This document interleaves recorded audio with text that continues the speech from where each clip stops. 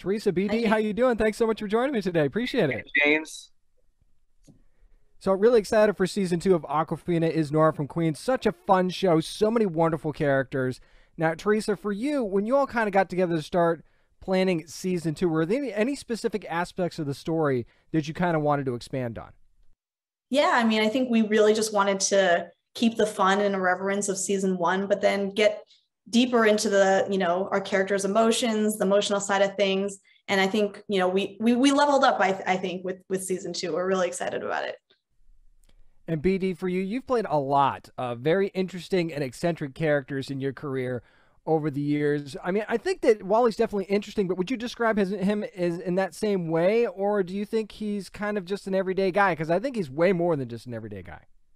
I think both, actually. I think that, yeah, I definitely see why he's an everyday guy. And I like that because for me, everyday guys are not, mm, mm, you know, that's not my normal kind of thing. I don't have a lot of parts like that. So I definitely feel that. But then I also feel that he has an opportunity, it being a comedy and the comedy often being as broad as it needs to be, to to be not eccentric necessarily, but to actually play broader comedy. And the, the range is pretty wide, actually. Um, it, it, we were able to kind of get really intimate in the show this uh, this season. And Teresa, I think it was a bit of a risk or a bit of a kind of a, uh, an experiment that I think works really quite beautifully because the, the, the broader comedy or the wackier comedy is still quite present.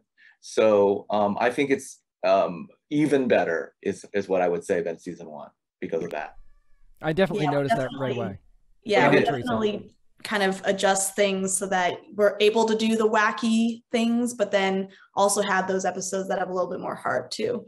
Yeah. We, we're not throwing out the baby with the bathwater kind of thing. Right. We no did throw out a baby. That. You're just adding a little bit more tepid water. That's all you're doing, and that's yes. and that's there's nothing wrong with that at all. yeah. So that I know that you both get to work with Awkwafina a lot, whether it be on the screen or behind the scenes. Can you all kind of talk about the energy that she brings to this series as a whole? I would say just from I'll jump in because Teresa knows her way better than I do, but I'm getting to know her in, in a very nice way working with her as I do.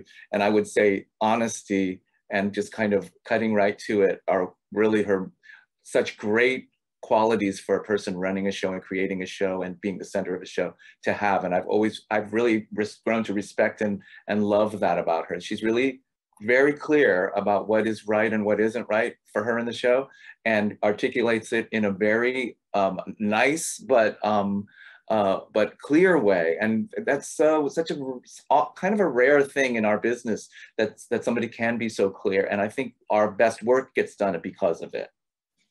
Teresa? Yeah, yeah, absolutely. And I think that the greatest thing about her, obviously, is that she sort of sets the tone for the show. She's incredibly kind, incredibly professional. You know, she has this kind of persona that's just, oh, a stoner. Uh, she's crazy. She's all over the place. But at the same time, like she's really, she's really, really smart. She's really, really funny, and um, you know, p- very professional on set, like BD said, and kind of sets the tone for. You know, she knows everyone on the crew you know it's a really really fun environment and, and, it's always a pleasure to to kind of work with someone like that. Absolutely. Bd for you one of my favorite episodes of last season was when wally took brenda to the dinner theater. I don't think i can forget that episode because it was so hilarious. Tease for us a little bit though. Could we actually be seeing a little bit more with brenda and wally this season? Maybe things getting a little more serious? I don't know I think it's okay to say that it, yes, it does.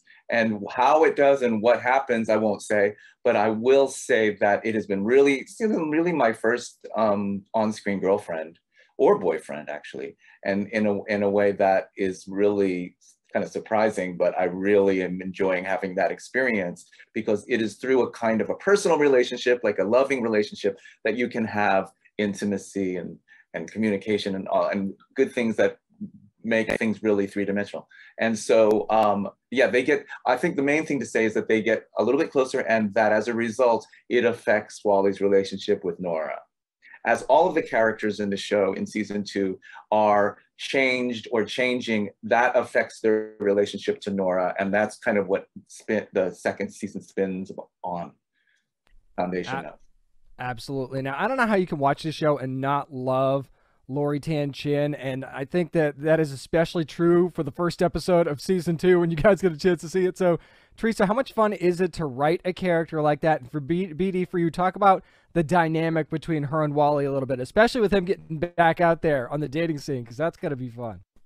Teresa. Yeah, no, uh, Lori is a joy. Um, and she's, she is what you know when you when you meet her and you, you, you hang out with her she really does embody that grandma attitude of you know uh, she when, when nora was sick last season she actually made her a soup. Um, and this was even before we filmed that episode. Of course uh, and so yeah it was really it was really sweet. And so um, you know she's she's sweet but she also has this like edge to her because you know she's an og and she's been through it and it's really nice. And we're so happy that she's kind of been able to let you know let go and be able to do her own thing on the show and we kind of just let let her free so it really is like a playground for her and you know she brings her own props and she feeds everybody and she's she's she she really relates to that maternal energy that is so important for her to have in her relationship with Nora because it's real.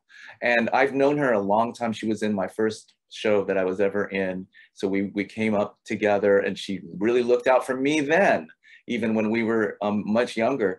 And it's so nice to see somebody kind of finally finding a place. She's done a lot of great work over, over, over, the years, no question. But this is a particular situation in which she's being given almost a kind of free reign.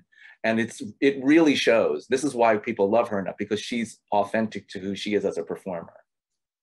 BD, speaking of which, you actually got to go behind the camera, direct an episode this season, this season, season two premiere, if I'm not mistaken. So, what was it like getting a chance to do that? Um, well, it, it, actually the season. Uh, it's actually see, episode ten. I, I know why. You, oh, okay. Seven, okay. Seven. There was a there was a press release, and the wording of it was, come, they bundled whatever. It's it's. That's it's, why it's, I got it. Okay, there we yeah, go. Yeah, it wasn't. It, I was. I'm debuting in season two, and I directed season ten. I mean, uh, episode ten. Seven, seven. Seven. Sorry, there are ten, and I was seven. Seven out of ten. Hopefully, we get to season ten. I mean, well, Yeah. why not, right? Oh, but it was great. It was really. I was. I'm very grateful to Teresa and and and Awkwafina for asking me to do it, and um, uh, I was pleased as punch to to take it on and enjoy the.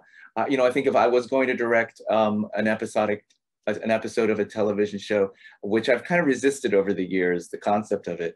I, I was, if I was going to do it with people I really liked collaborating with, and if I was allowed to collaborate, which they uh, allowed me to do unbelievably, uh, in, in, in really, in really a very nice way that made me feel really included.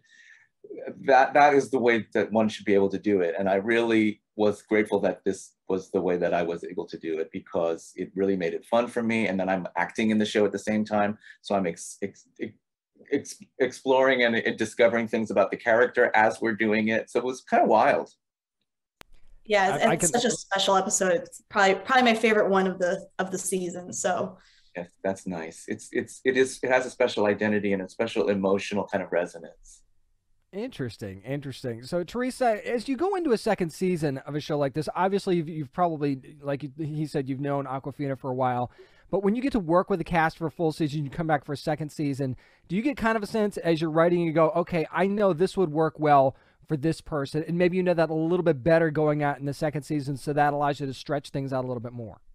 Yeah, absolutely. And I think the lucky thing is working with this amazing cast. We know exactly what they can do, and really leaning into that. I think partly just getting into deeper into the characters and having you know talking more to Nora and kind of figuring out like what do we want to say what are the themes we want to say that was those were all things that you know obviously season one we're sort of establishing everyone trying to figure out the show learning on the job and season two it really feels like again that we kind of leveled up every in every element across the board Really quickly, favorite episode from season two you can't wait for fans to see? I already said mine that's that's BD's episode Yeah, and I'm partial to 207 too because I directed it, but I also really love 204. I worked with a really dear friend, Cindy Cheung, in that episode, and I really, really was it. Is it still 204? uh it is yes 204 yes, Well, it's now 204 if it wasn't before, maybe. And yes. and so that what that's a I, I I'm looking forward to seeing that episode. They're all like you know little children. It's hard to say which one is your favorite. it is hard yeah Yeah. No doubt about that. But it's all good, and you're going to see that August the 18th. That's when Awkwafina is Nora from Queens premieres on yeah. Comedy Central. Catch up season one, by the way, on HBO Max. Yeah. Two, by the way. Teresa, BD, thank you so much for the time today. I appreciate it. Thank, thank you so much, James.